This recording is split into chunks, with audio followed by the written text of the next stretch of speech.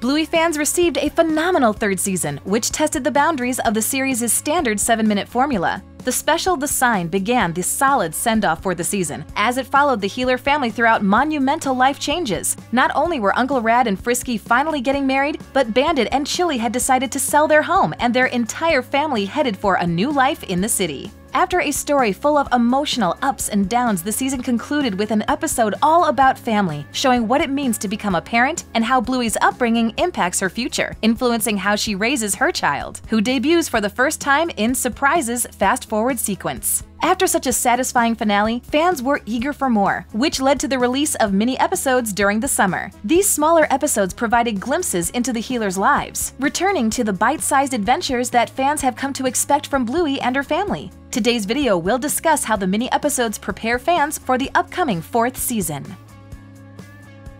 Number 1. Refocusing on the Heeler family. Bluey is a rare animated series with a revolving door of supporting characters. Dozens of dogs make recurring appearances throughout the seasons, from the workers in their town to Bluey's many friends. As the series progressed, episodes began to show more of the supporting characters' personal lives and experiences. While Bluey and Bingo may appear in these episodes, the Heelers often take a back seat in favor of telling new narratives about the other characters. The third season includes episodes like Space and Cricket, which dive into the lives of Mackenzie and Rusty, exploring how their experiences have shaped them. The mini episodes abandon this approach to focus on the Heeler family. The seven episodes released during the summer don't include anyone outside the Heeler family, with most featuring Bluey, Bingo, Bandit, and Chilli. These episodes feel reminiscent of the original episodes when fans were still learning about the family of four and their dynamics. For example, the mini episode Hungry shows Bandit giving his all into a game that he ropes Bluey and Bingo into playing. At the same time, Chilli watches from the couch, adding to the game's immersion with witty commentary. There are also mini episodes about the extended Heeler family. Bluey and Bingo spend the afternoon with Nana Chris during Letter, where they read something Bandit wrote as a child. Muffin Unboxing reveals that Muffin has an online channel where she unboxes and reviews toys. The channel must be popular as a toy brand sends her a toy dump truck to review, complete with a pre-written script. It seems like the fourth season may keep these ongoing trends, focusing more episodes with the Heelers and their extended family.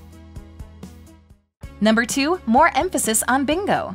As the titular character, it's no surprise that Bluey receives more screen time than the other characters in the series. She appears in nearly every episode and plays a pivotal role in most plots, leading her family members on adventures or helping friends create fun games. Bingo certainly takes a backseat to her older sister, as the series rarely explores her personal life at school and only has a handful of episodes showing her friends, like Lila. The minisodes seem to rectify this by giving more emphasis to Bingo. In Bingo 3000, Bandit and Bingo pretend she's a defective product, incapable of putting her legs down as advertised. After several failed attempts to unfold Bingo 3000, Bandit pretends to call customer service, going through a one sided phone call with which many adult viewers could sympathize. Bingo, meanwhile, finds the entire experience amusing, giggling as she gives her dad a hard time. She also gets alone time with her mom during the minisode Animals. Bingo and Chilli sit together on a park bench, perhaps taking a break after a full day of playing outdoors. Bingo lays across Chilli's lap as the two play an animal game. Chilli names off wildlife while pretending Bingo's back is the grassy plain they walk across. She calls out animals like cheetahs, antelopes, and even a dinosaur. The fourth season may show more of Bingo's life, allowing her to share the spotlight with Bluey by showing her school day, play dates, and how she interacts with her classmates.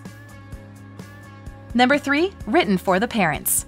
While Bluey is a fantastic children's series with good life lessons and fun premises, part of its popularity comes from an audience of all ages enjoying it. The series has a fan base that ranges from children to adults, and it's easy to see why. Many of the episodes and the dialogue between characters feel relatable to adults, especially when the series' parents have the chance to interact with one another. Episodes like The Sign feel targeted toward an older audience as the plot explores the complicated feelings someone may have when faced with significant life changes. Frisky has second thoughts about marrying Rad, Chilli struggles with the idea of leaving their home, and Bandit wrestles with the decision of uprooting his family from everything they know for the chance of a better paying job. These premises would easily go over the head of a younger viewer, so the writers of Bluey purposefully sprinkle in these stories from time to time to cater to the older audience who watches the series alongside their younger family members. The fourth season will likely continue this trend as the minisodes do the same. The best example of this comes from the minisode Three Pigs. Bandit must retell the story of the three little pigs before bedtime, but he's tasked with making the original story funnier. With help from Bluey and Bingo, Bandit continues with the tale of three pigs, two of which he's renamed Gruey and Jingo. Throughout the retelling, Bandit references door-to-door salespeople, getting out of jail for good behavior, going vegan, and more. These minuscule details make Bluey and Bingo laugh. Still, they're even funnier to the adult viewers who can follow the references and comedic nuances Bandit is filling his story with, perhaps for his amusement rather than for his daughters.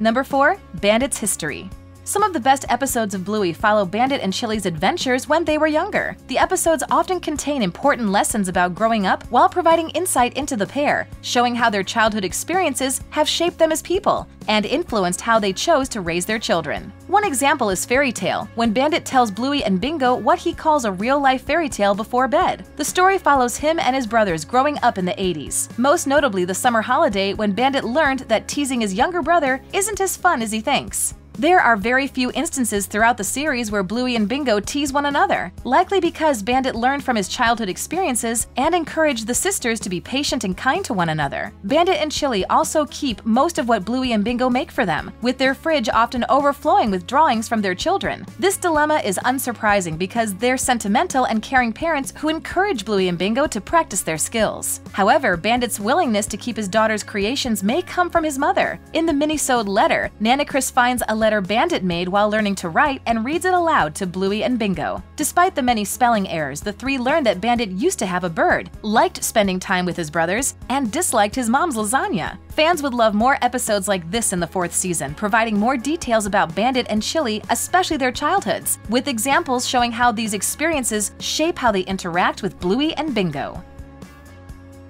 Number 5. Simple Family Fun if the minisodes act as the precursor to the fourth season, then fans can expect more of the simple and old-fashioned family fun that they've come to experience from Bluey. Many minisodes provide snippets and glimpses of the Heeler family during their daily lives. They play games, tell stories, goof around, and find themselves in funny yet relatable situations. The same is true of the former three seasons. As exploring the Heelers' daily lives makes Bluey engaging, it adds a layer of realism despite the series being about a family of cartoon dogs. It's unlikely that the next season will stray from the thing that Bluey has managed to perfect throughout the years. The third season of Bluey delivered an emotional and impactful journey for fans as the Heeler family faced significant life changes. The season finale left viewers eagerly anticipating more, and the release of mini episodes during the summer provided a delightful continuation of the beloved series. As we look forward to the upcoming fourth season, it's clear that the minisodes have effectively prepared fans for more heartwarming and entertaining adventures with Bluey and her family. Thanks for watching. If you enjoyed this video, hit that like button, subscribe to our channel, and turn on notifications to stay updated on our uploads.